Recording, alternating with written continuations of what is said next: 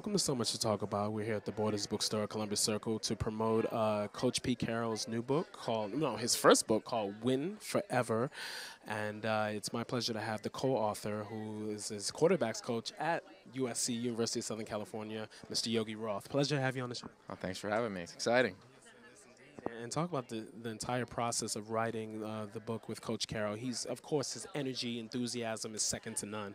So, uh, talk about how that inspired you to really be able to have the words flow. Sure, it was an incredible challenge, but one that, as a competitor, you, you love to be a part of, right? And when you look at what Coach Carroll has done, is what my job as a co-author is to capture his words, and everything you see basically came out of his mouth. And you know, I would I would guess that he's different than most celebrities that want to write a book because he wrote a ton on this book. It's not like he just verbalized it to me and I cranked it out on a computer. He wrote a lot. He's got a great um, a head and a heart for writing. He's very creative. So it was a fun process for both of us and for it to kind of come full circle to kind of have this book now and be in New York and take this tour around the country and do it for the reasons of giving back to the city of Los Angeles and its and its communities is something that I couldn't be more proud of. That's right, and talk about a better LA, um, a better LA foundation, which uh, Coach Carroll started with his daughter uh, Jamie. Talk about how how that's really growing and how we get in so much, so many of our youth to to buy into that vision, that positive vision. Yeah, well, a better LA, its goal is simple: is to stop violence from within. So I could come to New York and try to save every community under the sun, but I can't do a good good enough job or as good a job as someone who grew up in New York. And that's what we're finding in LA. So what we've done is we've you know, raised money by writing books, by doing a variety of different projects, having very special donors, people that want to donate some, some money to these communities.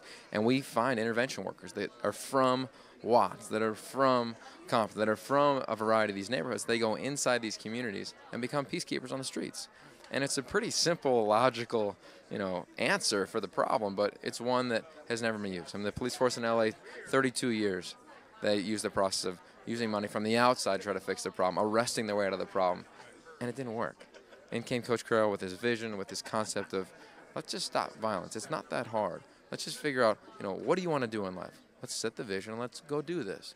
And he took the same principles that won seven straight Pac-10 championships and took it right out on the streets in Los Angeles, and he's doing incredibly well there. And talk about um like the one thing, the one anecdote while writing this bo- book with Coach Carroll that stands out for you. Well, the one antidote would have to be that, uh, you know, if you want to win forever, you got to always compete, and and that is is the line. Now, the, the most beautiful thing about it, when we sat down, we set one simple concept out for us, and it was the same vision he set for his program, the same vision he has for Better LA, the same vision we have in our relationship, same one I've uh, you know adopted in my own life is we wanted to do things better than they've ever been done before.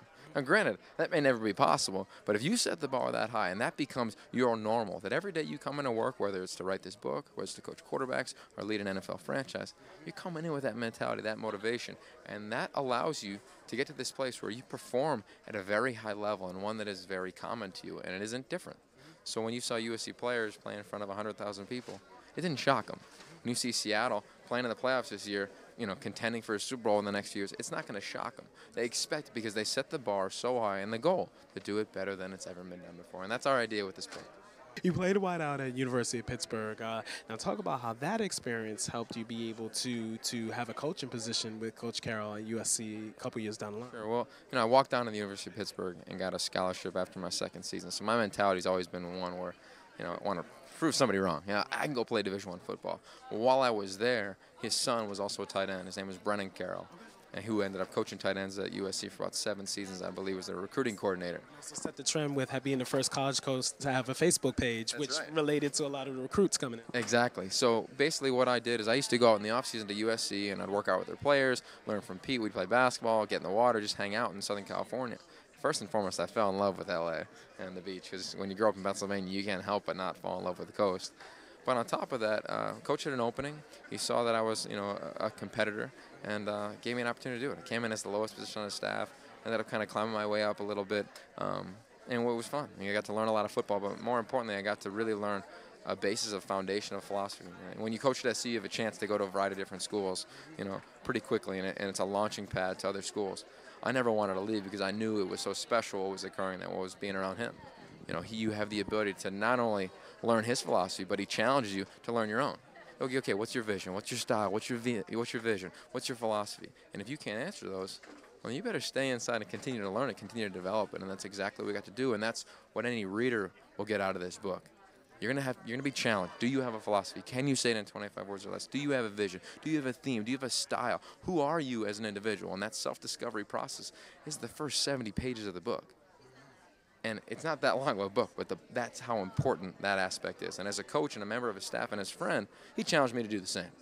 And, and that was something that I'll forever be grateful for talking about how you walked on in the University of Pittsburgh uh, team and then was a scholarship player the next year. It's very similar to how Coach Carroll was only 110 pounds in high school, you know, and wanted to play football, and, and he had to really fight and claw and be determined to do it. It's, I see those similarities, definitely. I, I think uh, we, we got a lot of similarities. You know, we get along great. Uh, we're about the same size. We both like basketball. We love the water, and we're both competitors. And uh, you know, I see that in him and, and, try to draw as much as I can. And, and you know, maybe he sees a, a younger version of himself in, in a, in, a, few aspects as well. And I think that's what sparked our relationship. It's what allowed this book to be relatively easy to write because I understood what he was trying to say and he trusted me with, with his voice. Yeah, I say um, great work and and uh, you know wonderful messages that you convey to the audience. And I thank you for being on so much to talk Coming about. Down, you know, giving giving New York City love, definitely. Yeah, man. I got a brother and sister in New York, so I'm back here all the time. Oh, okay, great. Cool. Thank you. Thank you.